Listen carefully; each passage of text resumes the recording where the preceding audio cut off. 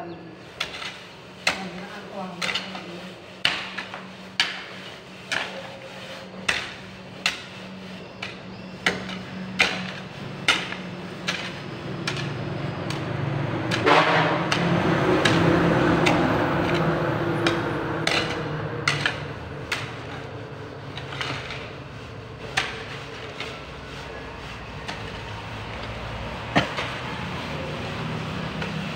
tí buổi sáng nó làm 2 lít rồi.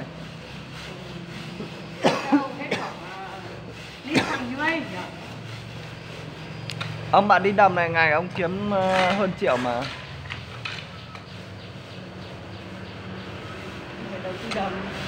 Đâu, đầm là thằng thằng ấy chứ?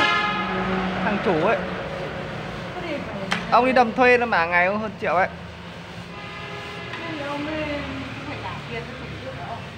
Không.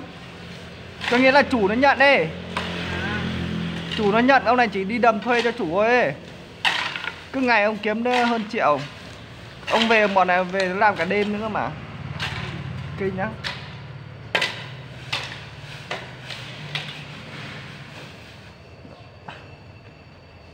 Đầm rồi khoa, khoa, khoan cắt bê tông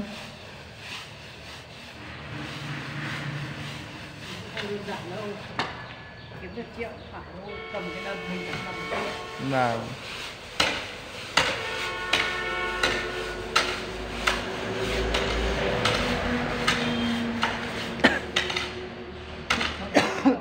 Kiểu cầm của nó đấy, không phải chỗ nào dễ này đâu Không có khó lắm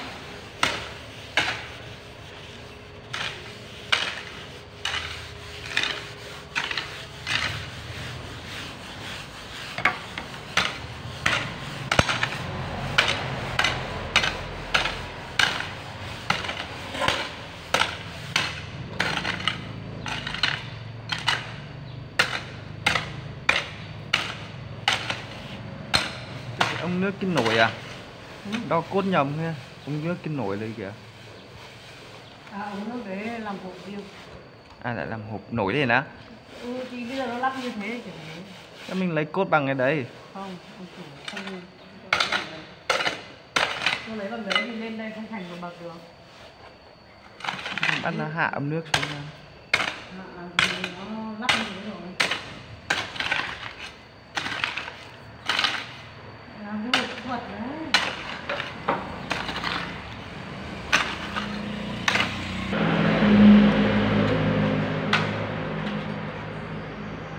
Thắng ơi, sao phải đo từng mét cửa lên trên điểm chỗ nào mà dưới 18 thêm nhá Không là nhìn nó không bằng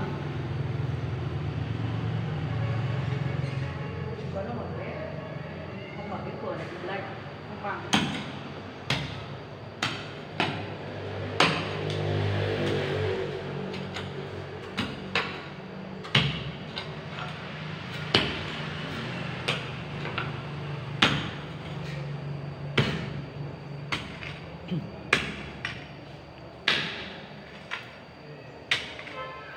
Đội này đi xây tận đâu ấy chị?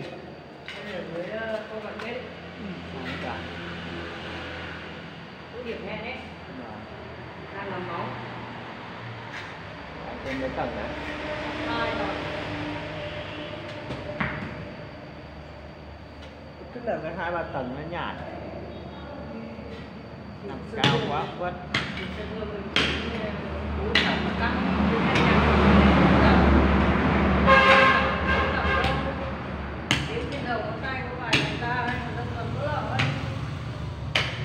Nằm cao quá ráo nước quất